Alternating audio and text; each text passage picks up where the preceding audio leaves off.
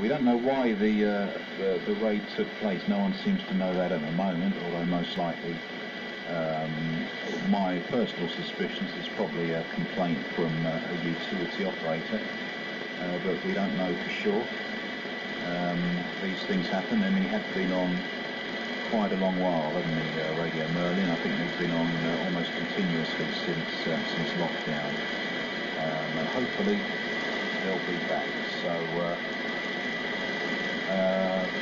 Mr. Merlin, um, we'll play a song for you. I can't think of what song we're going to play, but the next one um, is uh, it's a from Mr.